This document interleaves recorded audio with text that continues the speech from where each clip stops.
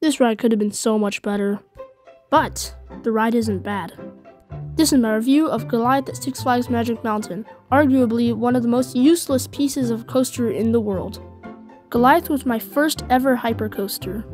When I went on this coaster, I wasn't expecting much from what I've heard from the other enthusiasts, so that's probably why I like this coaster more than other people. Not to say that I like this coaster, it's near the bottom of my rankings actually. I think of this coaster as the most mid coaster in like all of the world. So let's start with the layout. Goliath has a drop of 255 feet. This drop would have given a little pop of airtime if it wasn't for the ride slowing down so much on the lift hill at the top of the ride.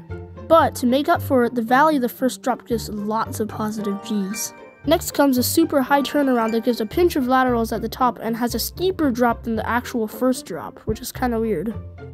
Next is the infamous elongated floater hill. I think this hill gives a little bit of floater airtime, but then not enough to be actually called airtime. Next, the ride goes up into the mid-course brake run, which literally stops the ride into a dead halt. Like I'm not even kidding. Look at the POV right now. The ride literally just stopped on the mid-course brake run.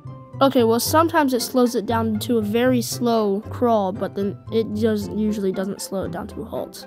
After the mid-course brake run, the ride goes into a small twisted drop, which if you're in the front half of the train, you usually dangle to the side because you're going so slow. The valley for this drop is the next high positive G part of the ride. It doesn't look intense on the footage, but it grays me out every single time. Next are a few banked turns following the Twister hyper layout style with a bunch of head choppers from the supports. And then comes the infamous downwards double helix. It's not the most intense part of the ride. Honestly, I don't get why people say this helix is so bone crushing and everything. But anyways, after that comes another banked turn and then goes into the brakes. Now that is the full layout. Now let me talk about the trains for a sec. First of all, they look ugly. I don't know why, I just don't like the look of these trains. I mean, like, I don't have a problem with it since I don't really care, but yeah. Second of all, they're cramped. Now, that's not a thing you hear every day.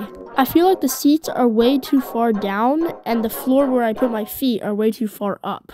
So I'm like almost in a crouching position. And when the ride ops try to staple me by pushing my lap bar down, they crush my legs into the bottom of the seat. Hey, but at least my upper body is free, so I'm not complaining that much. Also, laterals on this coaster feel absolutely terrible. Like during the transition into the mid-course brake run, the track is still turning, but then the banking is leveling out, so I'm at zero degrees banking and we're still turning, and I'm just getting pushed to the side of the train. But I think I'm complaining too much since nobody else really argues about this stuff. I mean, not every coaster is perfect, right? So I guess it is what it is. But seriously, a B&M Hyper like Raging Bull or something could have fit here way better.